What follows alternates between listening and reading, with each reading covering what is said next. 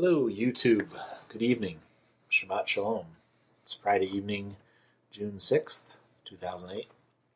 Um, I wanted to just give a brief update on my project. As some of you are aware, if you've watched my previous two videos, Ron Paul at the Crossroads and Ron Paul at the Crossroads Part 2, I have uh, told YouTube community that I'm planning to um, basically uh, stand in front of the Republican National Convention Center in St. Paul in September and uh, preach to the delegates that stream into the convention center, trying to convince them one last time to abstain from the first round of voting so that it would be possible for the convention to become a brokered convention in which Ron Paul can then be nominated and hopefully can gain enough delegates through a second or even a third round of voting, even as Abraham Lincoln uh, won the nomination in 1860. Abraham Lincoln, of course, went into the Republican National Convention with basically no delegates, much like Ron Paul, and um, Seward was the uh, front runner in 1860, and Seward was unable to garner enough delegates in the first round to win the nomination. So, in the second round, Abraham Lincoln uh, actually won some delegates over, um, not quite enough to win, but Seward still didn't win enough.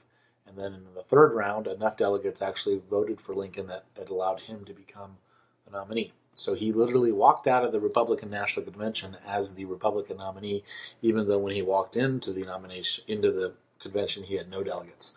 So we're hoping to accomplish a similar uh, similar type of thing with Ron Paul. We're hoping that history will repeat, and uh, I'm wanting to play my little role by trying to convince as many delegates as possible as they stream into the convention center to abstain in their first round of voting so that we can open up the possibility of Ron Paul being nominated. I wanted to read just a little letter I got. I'm not going to reveal her name because I didn't ask her if I could, and I don't want to um, break her anonymous anonymity if she doesn't wish it to be broken. But I wanted to read this um, email from a woman who um, has agreed to send money to me. She's already agreed to send $500 to help me to travel to uh, St. Paul in the fall. And, um, and I'll just read this to you. It's, it's very encouraging. She says, Hi, Daniel. Um, I am interested in helping you. July 1st, I will send you a check per the address you gave in your first email for $500. If it turns out that you need more, i.e., others do not come through for you, I will respond in full. I would encourage you to dress professionally and to have your speeches prepared and rehearsed well. This is our last chance to make this happen, and everything we do has to be done to the absolute best of our abilities. Most importantly, this is the paragraph I really want to highlight because I just very encouraged by reading this.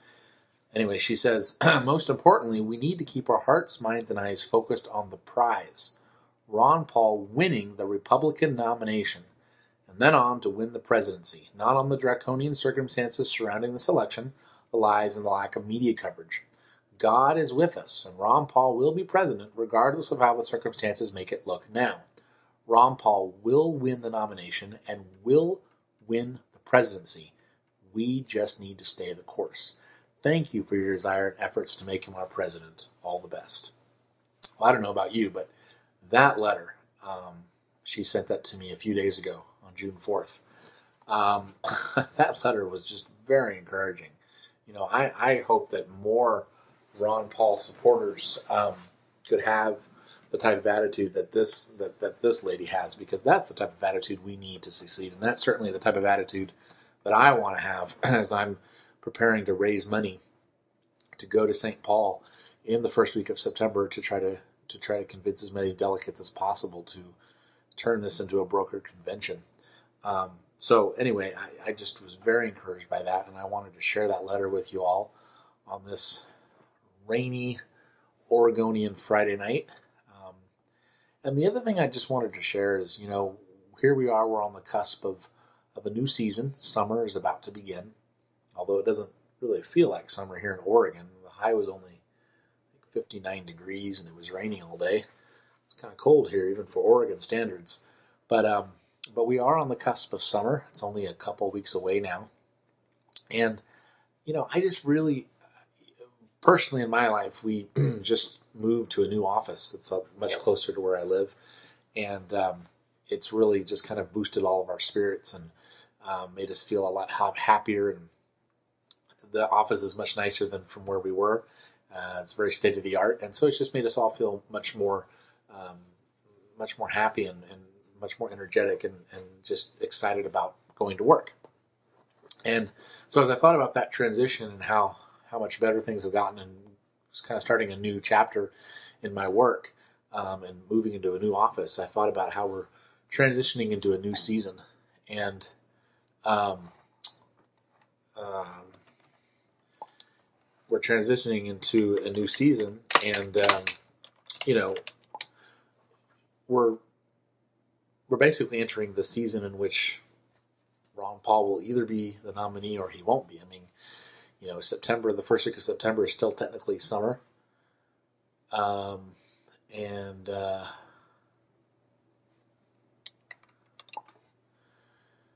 anyway, um, this is it. We're coming into the summer season, and this is the season.